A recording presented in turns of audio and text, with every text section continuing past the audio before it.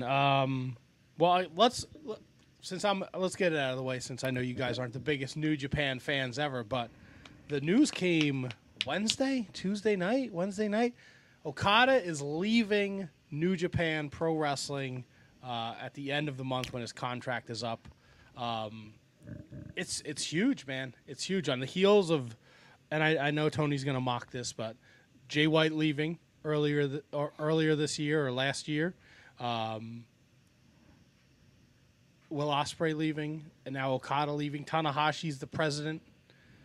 Um, Naito's 100 years old. New Japan is not in a great spot. So let me ask you this: Wasn't Tanahashi becoming president done to try to hopefully keep Okada?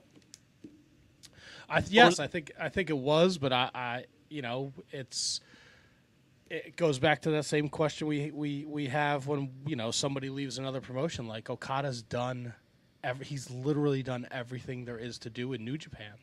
Right. Okay. That's fair. And I and I know I'm not the biggest New Japan fan, like you said, but I know enough about it. Like I watch Wrestle Kingdom every year. I know enough about it that makes this a big fucking deal. So maybe like Joe Schmo walking the mean streets of North Arlington doesn't doesn't uh, understand how big of a deal it is. But like it's a big deal, man. Now, Matt, where would you put this on the level of Shinsuke Nakamura leaving? So Is it on that? Nakamura, no, because he was because your your level of um, in New Japan, it was like Tanahashi, Okada, and Nakamura was kind of like a level below that. So it was it wasn't as big of, of a shock to the system because you still had uh, Okada and Tanahashi there, Okay. and that was But like in terms of like star power though, it's not it's not the same. no, Okay. no. I think I think o- Okada was he's arguably the biggest st- Japanese wrestling star in Japan. for for anybody that maybe not be familiar with Okada or you know his work or anything like that or where he stands in New Japan, uh, what would be like a say a WWE equivalent to walk away from the company? Is is can you make a like a, a comparison? Uh, John Cena, John Cena, am I? Yeah, Okay. that's a, Gotcha. exactly So it's it. it is giant then. yes, yeah, and it's So- and they had a show Saturday, um, and they had they kind of booked him throughout this next February tour because they didn't know what they were doing, uh, and then they had to change things around. And we're gonna get the last Okada Tanahashi match on February 11th at the New Beginning in Osaka, but they had a show uh, Saturday at the uh, at the New Beginning in uh, in Nagoya, and you would think like, okay, like everyone pull up their fucking bootstraps, let's go out there and put on a hell of a show. When New Japan has the worst show of the week, it's not a good sign. And look, I know Tama Tonga is not on the level of Okada. He's gone too. He's leaving too. Like they're losing people left and right. This is this year is going to be a very interesting year for New Japan Pro Wrestling. So, like in the sports world, we always say when people leave or go somewhere else or get hurt, it's next man up. So, in New Japan Pro Wrestling, who do you see that could possibly be the next Okada? That's That, that hasn't already been there for like ever, like a Tanahashi or like a Naito or. Evil. And Naito's al- isn't Naito almost kind of on his way out too? Like, didn't he have like He's- another eye surgery? That, like, he He's couldn't- old as he's old too. They're all old, man. Evil just won the NEVER Openweight title from fucking Tana Tama Tonga. I don't know why they even bothered to put the title on him. Um, th- th- it's it's it's I don't know if there, is, there there's there's such a there's such a huge gap right from the Okadas and the Tanahashi and the Naito down, and then when you go to like the Yuya and the the Shota and the Ren Narita, like there's guys in between that are great. Like Taichi's great, but he's not young. Big Tamishi, he's not young. You know, Minoru Suzuki's doing the thing where he, you know, which is awesome. We're gonna get fucking Edge and Minoru Suzuki on Dynamite Wednesday night, which is who had that? Who had that on their fucking bingo card in 2024? I know Tony, you know, mockingly gives the thumbs up, but it's fucking wild. They have a lot of young guys, a lot of young talent, but there's a lot of, you know, like does this give Hiromu the opportunity to step up? Is you know, does this make Dolph Ziggler's role bigger? Is the Matt Riddle thing gonna be bigger? And that's like kind of like a, eh, is this the guy we really want to bring in here? Um, it's, there's a lot of lot of questions. ELP and and Hikuleo, but it, it's gonna be 2024 is gonna be an uphill battle for, for New Japan. Where think- where? Oh, go ahead, Uh, KGG. No, no, you, you, you go. I say where where does he where do you see him where do you see him landing because I think I mean there's obviously it's it's AEW or TNA but like what where do you think he he specifically fits in maybe better I'm not ruling out WWE, by the way. Uh, I think WWE would be would be the place. because he's still Yeah. relatively young isn't he is he 34 35 Yeah. He is, But he's yes. beat up. you can work you can work a calm style in WWE and be just fine Yeah. Japanese calm style. yeah Japanese calm style you got it Yeah, fucking Okada is 36, he's 36 okay but he's still, you know, what's what AJ Styles is what 46. yeah Yep. yeah I think, man. So I know he's on TNA this week because I know he was out there for uh, Battle in the Valley when they ran that show a couple weeks ago. Um, they would have to, you know, it's all. What does what does what does Prichard say? Cash and creative, Mhm. right? TNA would have to throw a. They'd have to throw all the money in the world at him.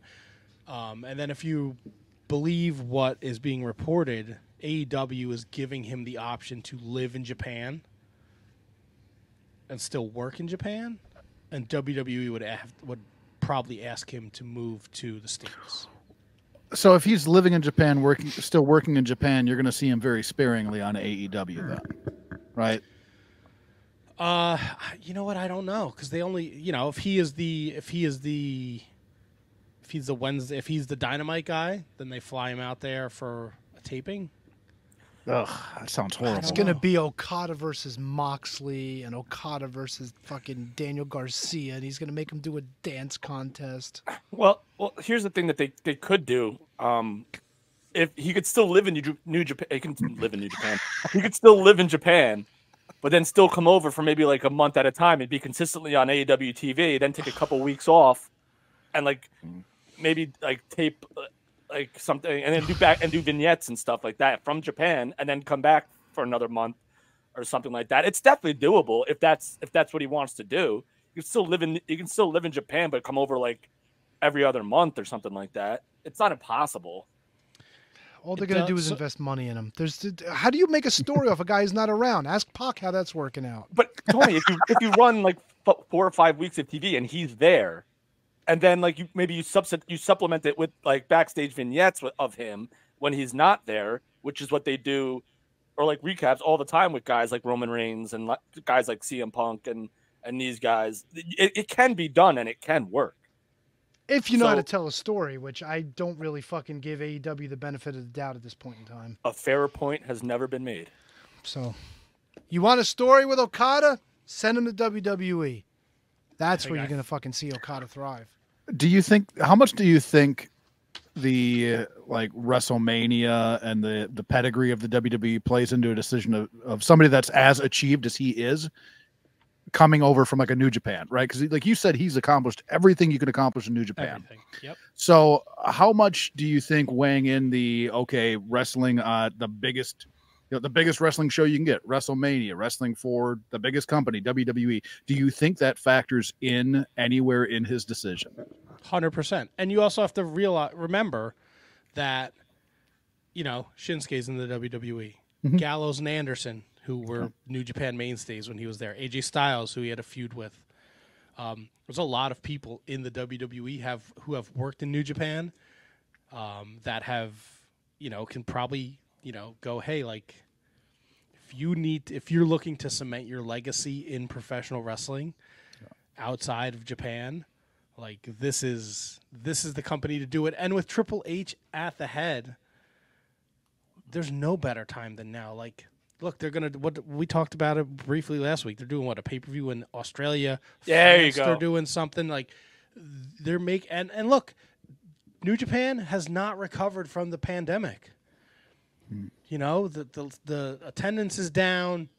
They really got hurt by it. So, you know, I think WWE is the place for him to go. Um, I, I couldn't agree more, Matt. And because because like you just touched on, they're doing Australia, they're doing Germany, they're doing France, they're doing Toronto all this year. So who's to say that they don't? Okada comes to WWE, he goes back to home to Japan. They sell out a freaking massive, the Tokyo Dome, whatever. They sell it out because you headline it with Okada versus AJ Styles or Okada versus Shinsuke Nakamura or Okada versus Seth Rollins, like, or or CM Punk or Brock Lesnar or eh, Okada Brock Lesnar would sell the f out of Tokyo Dome. Yes. I don't care what anyone says about Brock. That's huge. And the the the leaps and bounds that have happened with Triple H uh, in charge in in terms of working relations. Last year it wasn't the prettiest, but we saw Karl Anderson, a WWE contracted wrestler, work in New Japan. Steven Regal's kid just worked in All Japan show.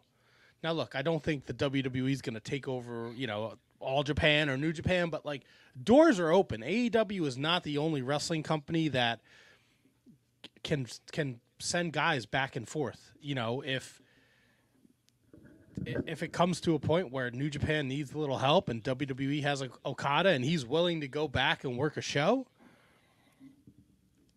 I maybe don't see why not. But, but maybe Okada just wants to get away from New Japan. Maybe that's why he he's wa- leaving. I think he wants. I don't. I think he's leaving because of money.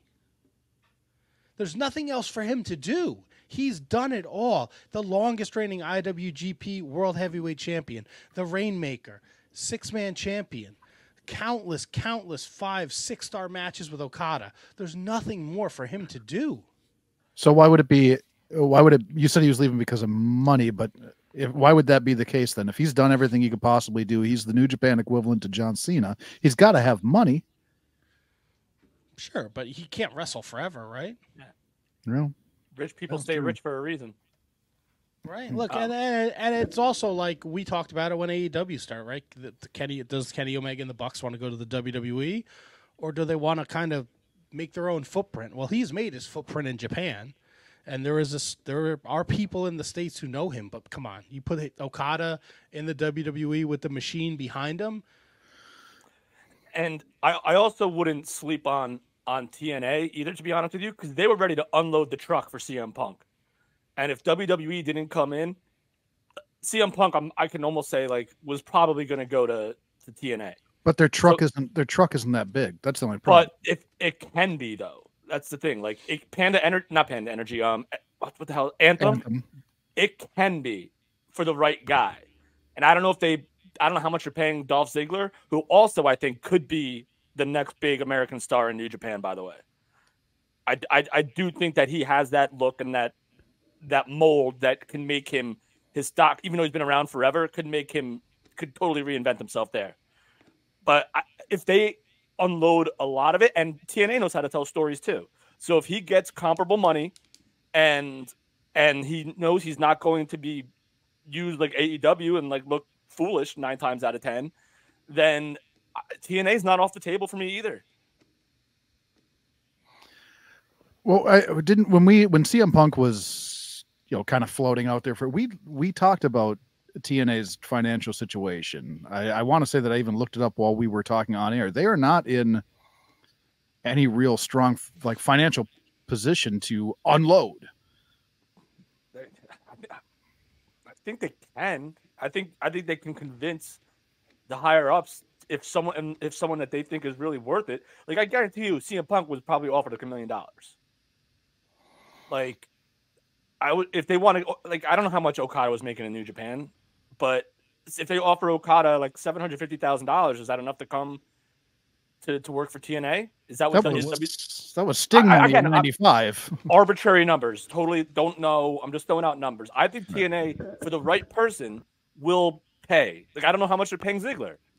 Like that's probably a per appearance type situation going on. I don't know if he signed a deal or not, but if for the right guy and Okada is the right guy, they missed out on Punk. Why not break the bank and try to get Okada? Does he? Does he? does he draw eh, as far as like like Ziggler in the states, right? He's a star. Everybody knows him. Ziggler, probably worldwide, everybody knows him because of what he did in WWE. Okada accomplishments comes from New Japan. So bringing him over to try and boost TNA, does it have that same effect? Because he is not as universally known in the states as a guy like Dolph Ziggler. So from a company standpoint, does it make that sense to do that? Yes. You say that as a wrestling fan. For, no, I'm looking at saying it business from the business For- standpoint. because if you're watching TNA, you you know 100% who Okada is. So now now will it draw new eyeballs? Maybe I don't. I, you'd have to think that because of all the the press, Matt, that it, it would probably get that some wrestling fans will stumble upon it, and and they'll know who he is. I think WWE Matt would probably might have to do like a complete reintroduction to him, like a re like. Even though WWE fans are, are smart now too, they're just as smart as AEW. Like they're, they're in there. They're because WWE has been so good. Uh, so Matt, like, what, what do you do? You think TNA would have a more difficult time getting new eyeballs for him, or with WWE, or TNA is definitely. I think the AXS thing is a killer, right? Because AXS isn't available everywhere. Now, look to their credit, I have TNA Plus. The Thursday night's episode was there Friday morning. Um,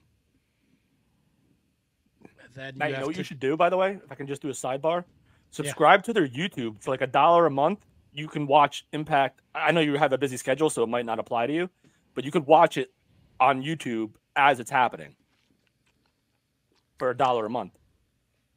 Yeah, I'm usually not home Thursday nights. Yeah. Okay. Um, I don't know, man. Like it's tough. It's all it's it's tough. It's it's hard with somebody at his level, right? How are you going to bring the arguably one of the best wrestlers in the world and introduce him to a brand new audience? What? I just Scott Scott George says I heard he was making two million yen uh, in New Japan. Uh, William Mercer brings the thunder with two million yen, yen converts to like fourteen thousand U.S. dollars. I mean, he's right. yeah, but Scott George had to know that. That was that was sarcasm out of Scott George. Um, yeah, I don't, I, I, I don't know. Like he goes to WWE, you know, he's going. You're, you're gonna have. You, I don't think he has the star power where you could put him right on TV. I think he has to go through NXT. I can't believe I just said that, but I think that's what you have to do. You have to. Yeah, I think he has to, because I don't see a way where you bring him in where he is instantly a viable contender or a foe to somebody that you can take Vignettes, brother. seriously. Vignettes. Vignettes. Get footage from New Japan. Give it a couple of weeks. Show him in his biggest, brightest moments.